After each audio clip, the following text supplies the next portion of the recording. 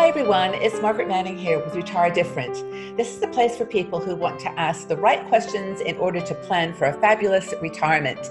And I've got some guests today that are going to talk about uh, something that's quite controversial in the way that we look at retirement savings versus income.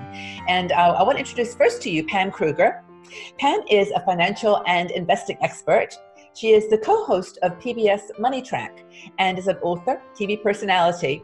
Uh, she is also the creator of Wealth Ramp, which is an online tool that uh, helps fiduciary advisors connect with consumers like you. So it's a great uh, tool for people. Hi, Pam.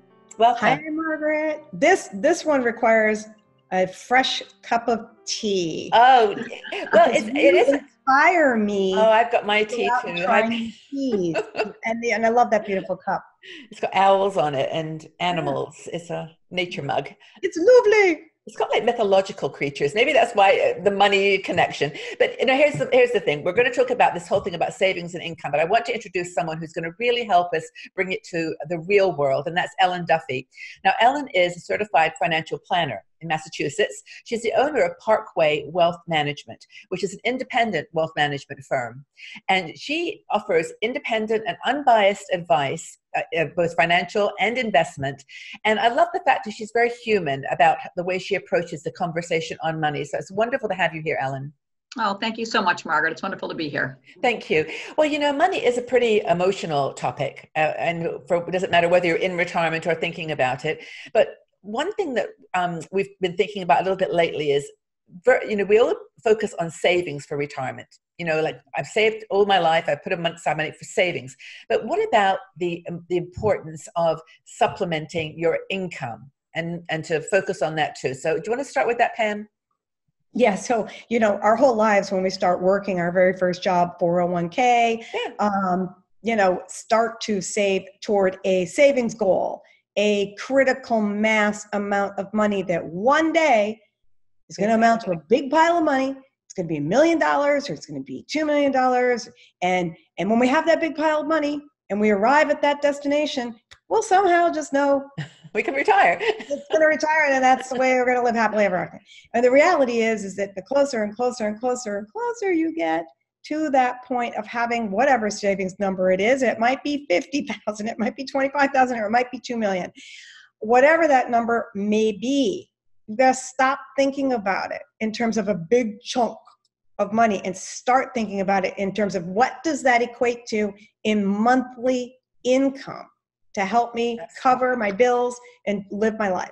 Yeah. So basically, you have this money in savings. How what, how are you going to get it out and right. out to the in the way that's going to sustain the lifestyle that you are maybe equating with the million dollars rather than the two thousand a month that you can actually pull from that that savings. So, Ellen, you face this conversation all the time. What do you think are the biggest mistakes that people make when they think about savings versus income?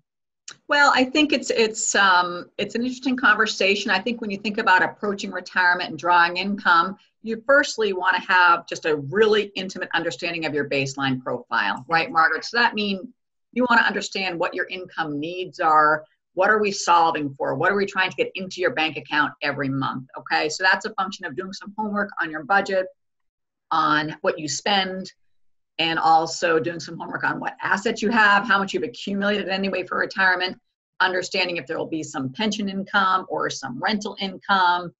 Pam referred earlier in another conversation to Airbnb income. Some folks will be retiring. Uh, I'm sorry, I'm sorry. Some folks will be working part time during retirement. So there's a lot of different uh, sources to evaluate and understand. Once we solve for that income puzzle, you, you're going to take your savings and convert that to income. And that's a strategy where you have an investment strategy, you have a drawdown rate where you'll be withdrawing income monthly or quarterly, and you'll be investing hopefully over the long term to have a sustainable drawdown rate. Right. The way that we draw income really is a simple function of setting up a distribution strategy from your accounts. And that sounds complex, but it really means understanding how much you can save if you pull out and depositing into your bank account every month like a job. Right, you know, like a salary, yeah. Yeah. You know how sometimes I think of it. You made me. You made me visualize this because it's so super simple to visualize it this way. Yeah. Let's just say you had this huge tub of water. Right. Filled with water. That's your savings, and then you want to start to turn the spigots underneath the tub so that it dripples and drips into different buckets. Those buckets are your distributions. In other words, you're going to have a bucket of money that's going to be for cash, right? That you need. This is super simple. I didn't just make this up. This is all, all over the place. But the idea is it's super simple.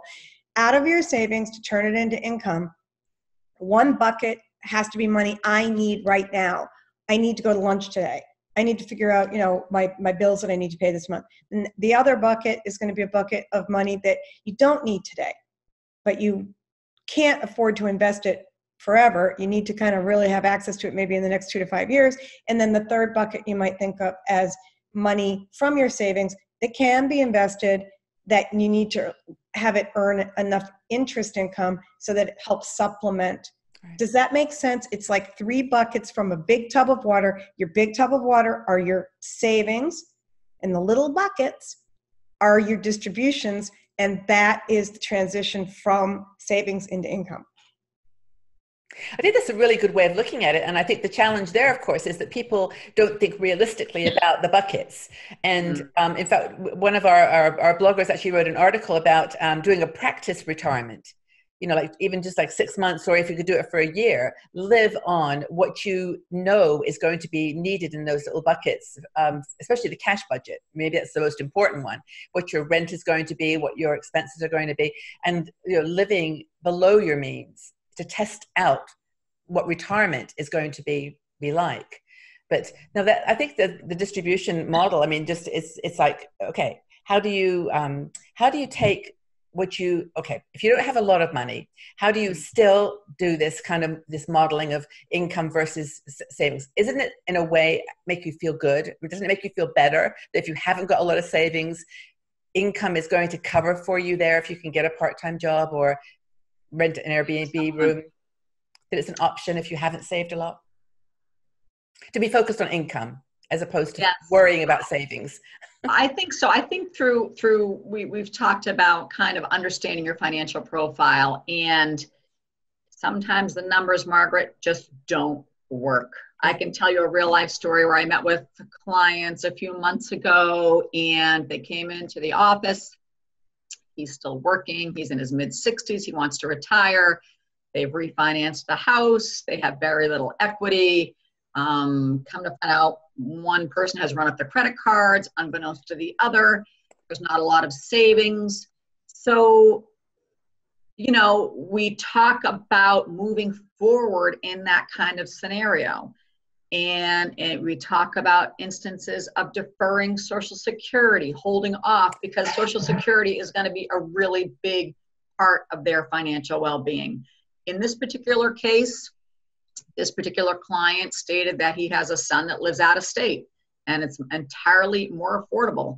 And he is very comfortable leaving the community that he's in. So their retirement plan a big possibility is leaving the state and moving to a more affordable area and kind of co-creating a new retirement lifestyle. Mm-hmm. so when you talk about test running or, or, or stress testing your retirement that's exactly what we kind of do in offices like mine. We stress test retirement spending. We could do projections that kind of tell us how are we looking? Are we in good shape or do we need to supplement? Do we need to keep working? And kind of taking the facts or the models and moving forward with whatever that means for each right, person. Right, and right, sometimes it means deferring retirement. Sometimes it means really changing their belief system about retirement, yeah. but finding the positives and, and moving forward and creating a plan. And compromising. I, I have a question for you on that yeah. client, just this yeah. person who you met with this. Okay. My question is, did you say 65? They're approaching 65, yeah. Okay. So stop right there just for a second, you guys. 65. Everybody thinks ding, ding, ding, ding, ding, ding, ding. Oh, we're supposed to be in a position to be able to retire now. Therefore, we need to be able to figure out how to transition to retirement and stop thinking about savings and start thinking about income and etc. When really, really, Ellen, that couple, it doesn't sound like they can afford to stop working. And frankly, why would you stop working at 65? You know? Right. Well, you're you're exactly right, Pam. And people are healthy and vibrant. I mean, look at some of the people in our political arena running for office in their late 70s, full mind, body, spirit, capable. In this particular case, um, it's very hard work. This particular occupation. So I think there will have to be some creative thinking about continuing to drive income, maybe an alternative occupation. But sure. you're exactly right. I mean, you know we're living longer than ever before. Some people spend more time in retirement if they retire in their early 60s than if they spend working right? So it's really quite a proposition.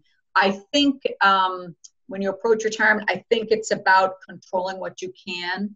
And as i mentioned some people may be forced out due to restructuring or you know career changes.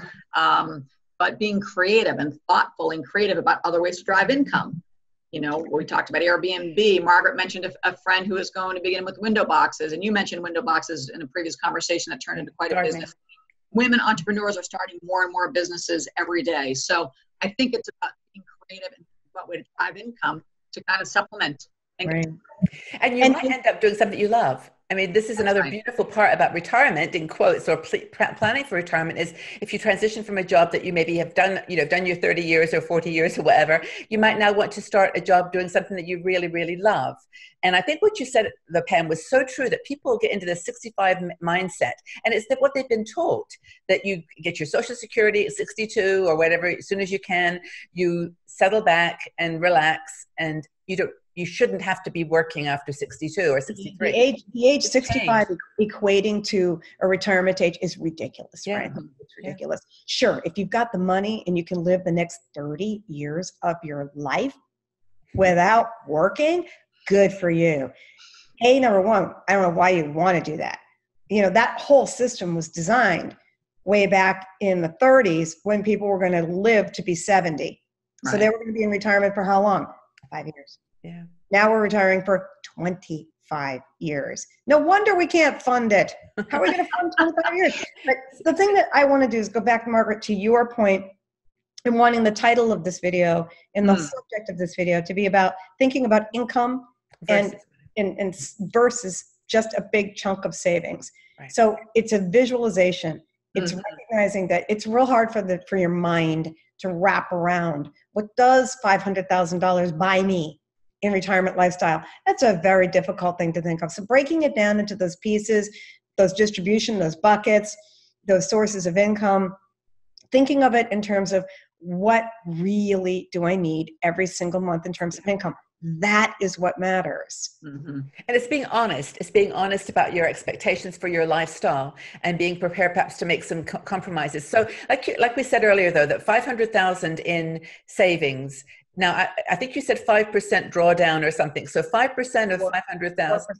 Four percent. Well, four percent. Four or five percent. The, the range is four or five. Yep. Is that two thousand a month for some? Twenty-five thousand. Yeah.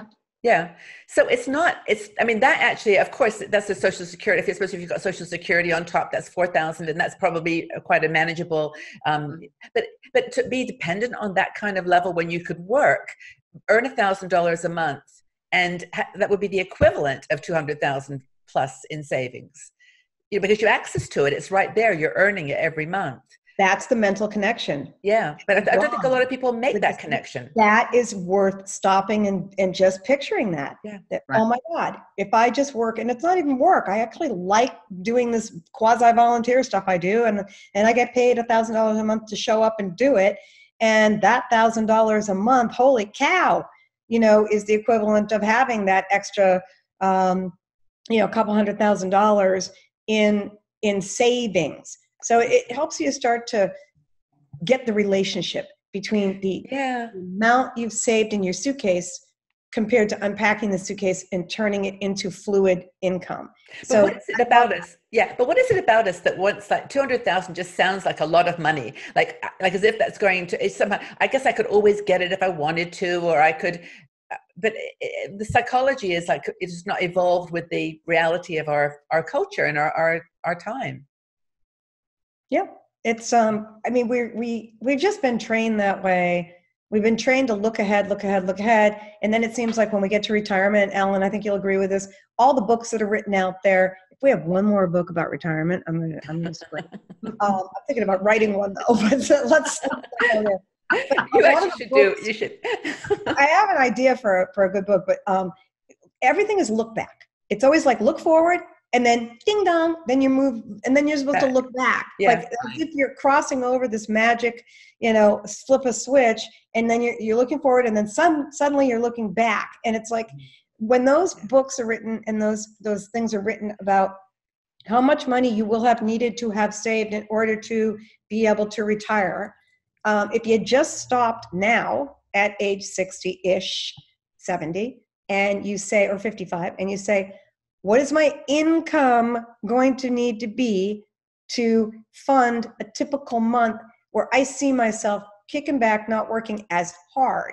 What does that nut that I have to yeah. cover every month look like? That's income. That's where it's at. Income's where it's at. Well, and in fact, if you look at the uh, Retire Different website, you'll see all kinds of articles because we actually try to make the site really practical. Like the articles are very things you can do. So, for example, Airbnb, we talked about if you want to rent a room in your house, you can rent your car now. You can rent your parking space. If you live in a, a town where they have a festival every year, you can rent your car parking space. And um, the thing that's beautiful is there's technology now.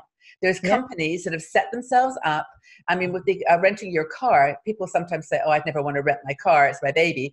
But then, if you've got two cars, you can rent one of them, and they cover the insurance. They, you know, it's it's it's just another business and there's so many of these now that you can task rabbit and uh, the freelance sites like um, is it e- e- not elance anymore it's outwork or upwork you know you can take the te- the skills that you've you know nurtured over the yeah. years and make yeah maybe maybe maybe you're a graphic artist you know maybe you have that capability or maybe you want to tap into that because you've been working in one role and you really have a creative side and the internet will allow you to you know even on a small scale all of a sudden you say i'm selling something on etsy my brother-in-law started to make these uh, he takes conch shells in in the caribbean and he makes these beautiful like horns out of them and then pieces of jewelry etc okay so you know, he didn't really think that was going to be a business per se.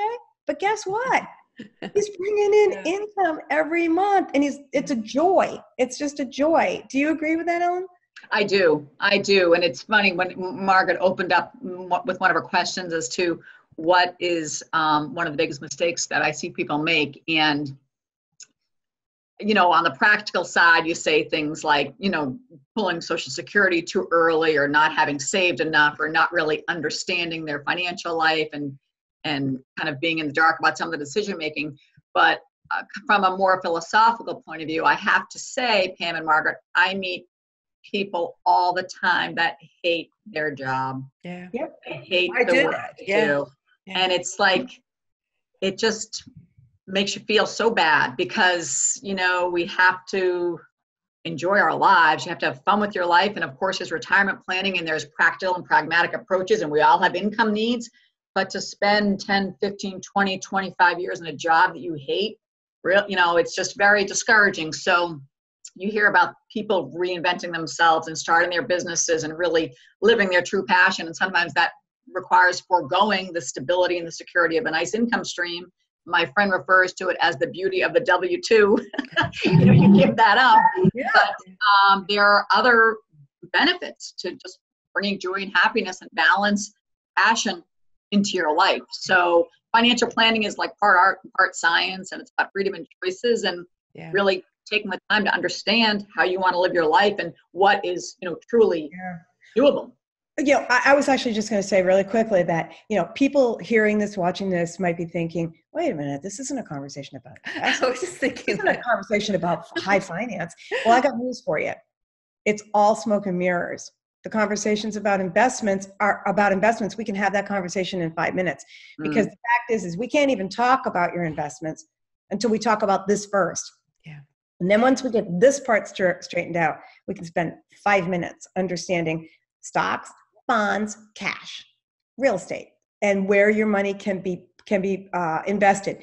A lot of people, Ellen, uh, uh, even people my age, your age, they come to us and they think that we're magicians. Like, oh, I need more money for my retirement. I need more income in retirement. So therefore, if I come to you, surely there's an investment out there that can give me more income. I just need to know about it. Well, if you just needed to know about it, everybody would know about it. It doesn't exist. Everybody's doing the same thing. We're all trying to keep our money as safe as we can. We're trying to earn as much as we can. The conversation does turn to investing, but first it's this conversation.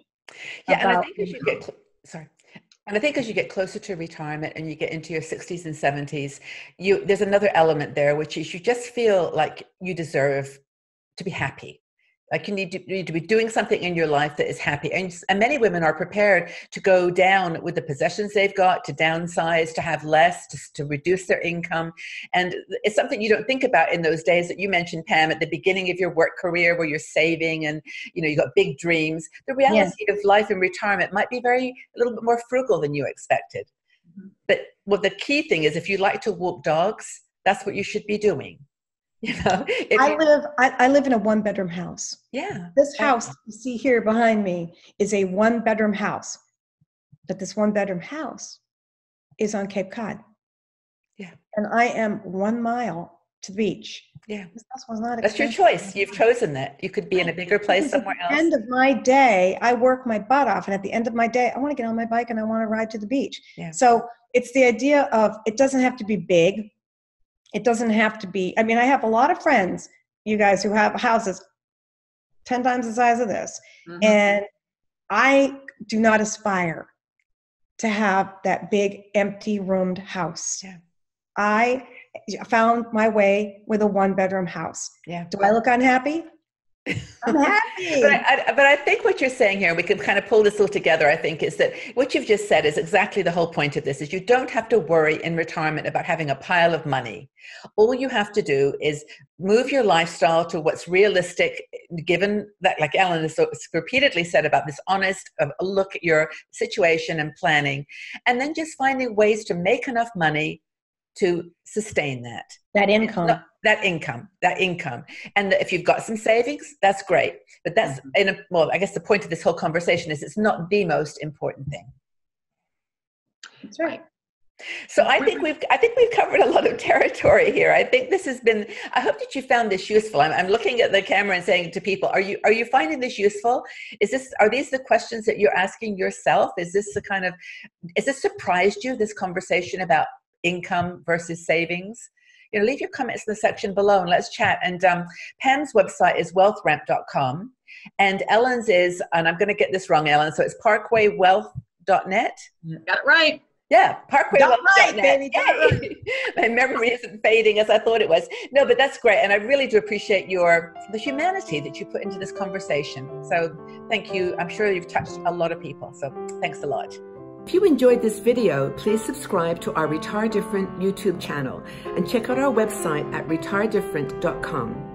We are a community of people who are asking questions and trying to make good financial decisions so that we can have an amazing retirement. We'll be looking at our relationship to money and also places that we can go for support, advice, and inspiration.